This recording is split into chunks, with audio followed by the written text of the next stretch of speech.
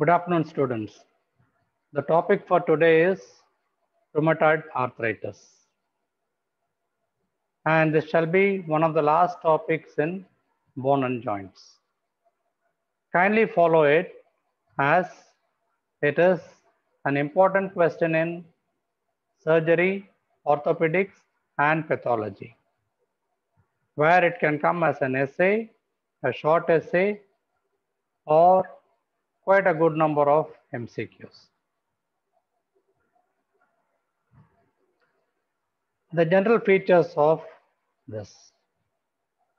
It is defined as a chronic inflammatory disorder of autoimmune origin, producing a non-suppurative arthritis. Suppurative means there is no infection. Non-suppurative. The age is 30 to 60 years and females are having a greater predilection than males in the ratio of 3 is to 1. Common in monozygotic twins. There is a variant called juvenile variant which occurs in children less than 16 years of age. But basically remember that it is an autoimmune disorder, a prototype, just like SLE or rheumatoid arthritis.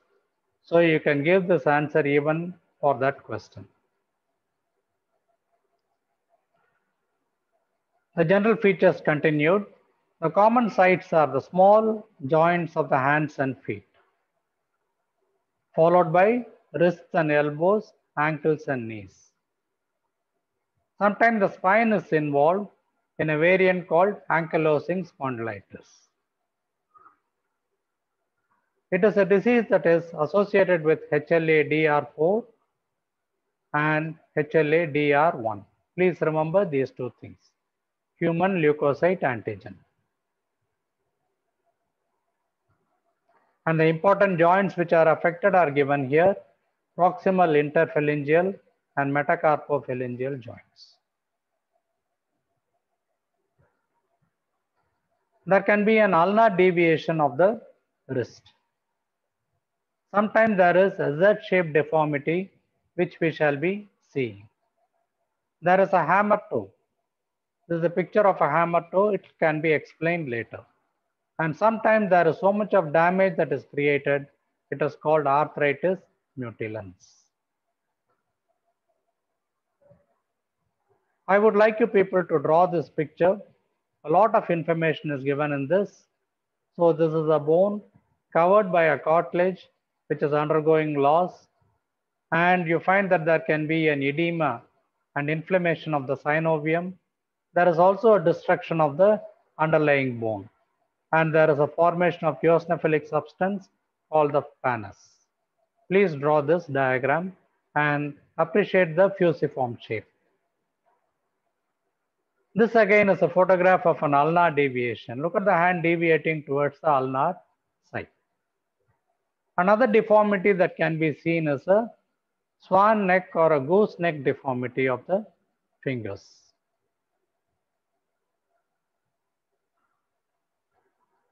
A normal picture, this again can be drawn. Look at it.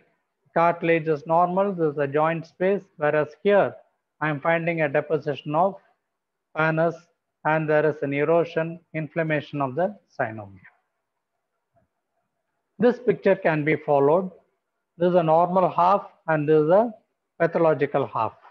In the normal half, all the components are shown. I will not deal into it. Whereas in rheumatoid arthritis, there is an inflammation of the synovium. Major cells are the T lymphocytes and the macrophages. These are chronic inflammatory cells. Following this inflammation, there is a proliferation of the fibroblasts. And these will be the other cells which can be found. The synovial fluid, which will be containing the neutrophils mainly. So these are the components of it. Just remember, because there is something else to follow.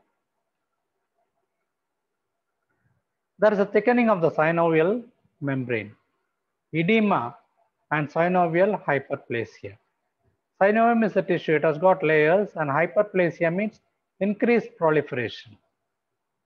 There is a dense inflammatory infiltrate, both in the joints as well as in the joint space. Fibrin deposition and necrosis. So the eosinophilic acellular material that is being formed constitutes the pannus. So you should be able to describe the evolution of a pannus. And look at this particular picture again. I'm finding that there is a loss of the articular cartilage and there is an edematous fluid over here, a thickening of the synovium and an erosion of the underlying bone also.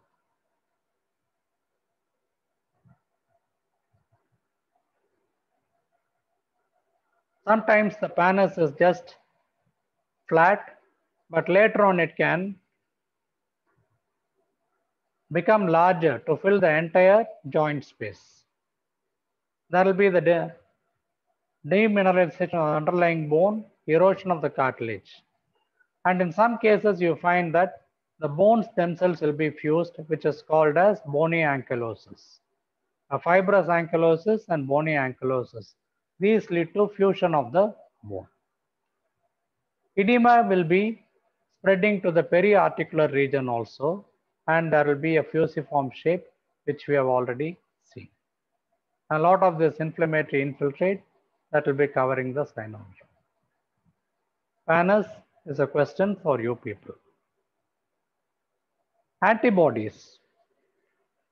Antibody is a substance that is produced when there is an antigen introduced into. But sometimes you find that there can be antibodies produced against our own cells. They are called autoantibodies. Rheumatoid factor is a circulating autoantibody. And there is a peculiar section. No? You find that the IgG is the usual antibody. There is a FC portion of it. It is one strange disease where an antigen itself can be the antibody. The same IgG can act as an antigen as well as an antibody. Antigen and antibody are the same. Apart from this, there can be anti-nuclear antibody, anti-collagen antibody, anti-cytoskeletal antibody. Please remember these because this will be the basis of the pathogenesis. Autoantibodies.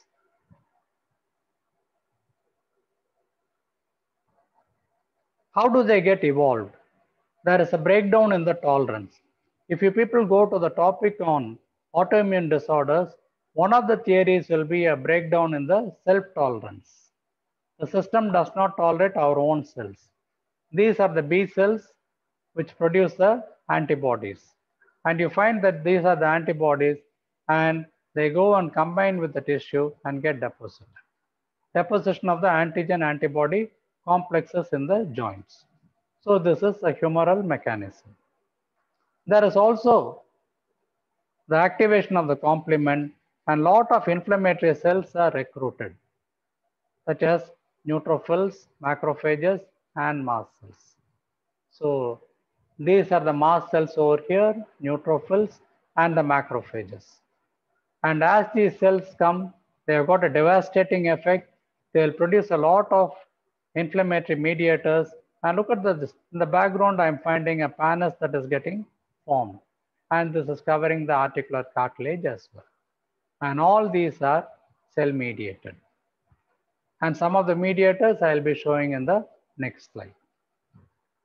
Look at this one. These are the cytokines, the interleukins, tumor necrosis factor alpha, and interleukin 6.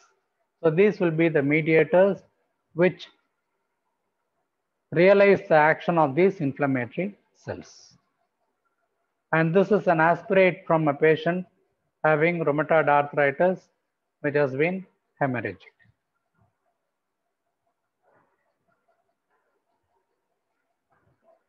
Some of the radiological and the clinical features. This is a normal hand and wrist that we are seeing. But in this picture, I am finding that there is an ulnar deviation. This can be picked up on the X-ray very easily. Ulnar deviation of the hand. There is another condition called the hammer toe. Initially, I thought it will be as though a hammer is hitting on a toe and breaking it. It is not so. Because of the cripple, you find that there is a shape that is obtained. This is almost a hammer like in shape and this is called a hammer toe. Another abnormality will be the subcutaneous nodules.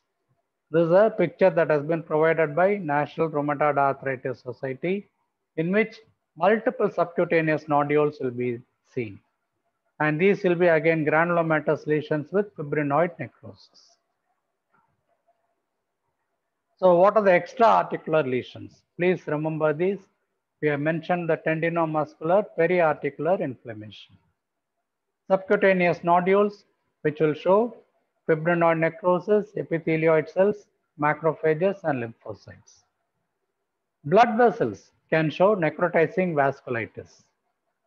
This is important because it can cause necrosis of the tissue that is involved.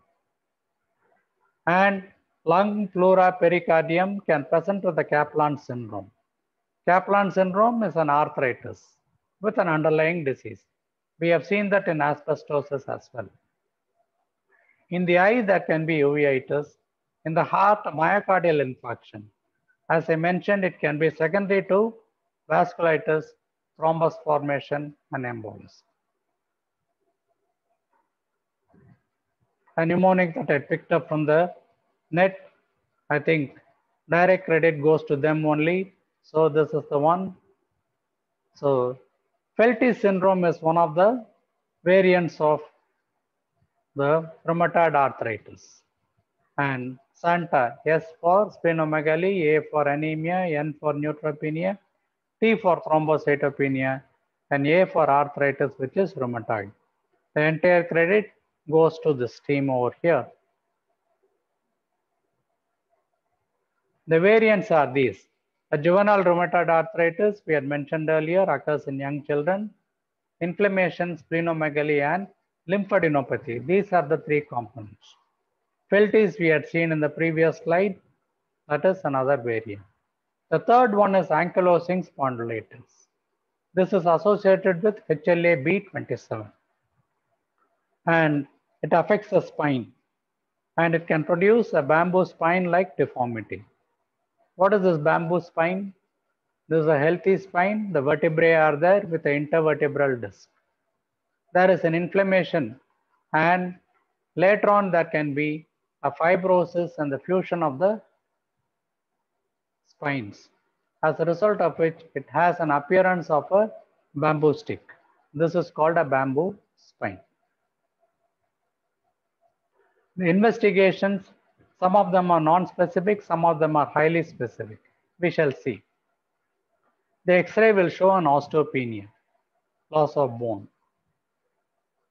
MRI can be used to pick up. ESR is raised. C-reactive protein because it is basically an inflammatory reaction.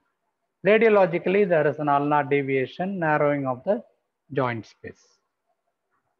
There is an antibody called as ACCP, cyclic citrullinated peptide antibody. There's a rheumatoid factor, which is classical, RA factor. This can be seen in rheumatoid arthritis, sometimes in SLE. 75% of the cases are positive.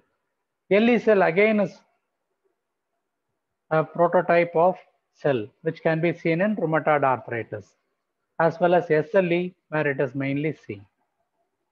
Monoclonal antibodies for macrophages. These are something specific that can be done in the laboratory to make a diagnosis. And the treatment is mentioned here. The non-steroidal as well as steroids can be given. Sometimes a surgical treatment such as synovectomy, fusion of the joints or replacement. Sometimes there are drugs that are used to modify the anti-rheumatoid arthritis. So this is one. Disease modifying anti-rheumatoid arthritis drugs, TNF inhibitors. Physiotherapy and occupational therapy form the main stem after the diagnosis is made, helping the patient to come back to the routine life. This tabular column I will not go into, but I put it intentionally because osteoarthritis is a question.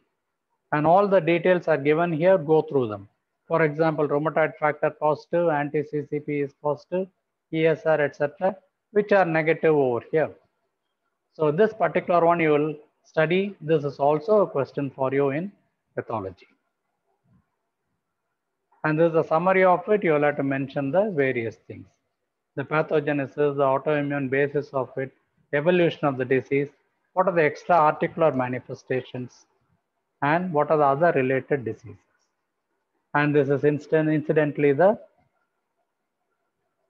hammer toe deformity that we have seen. más c.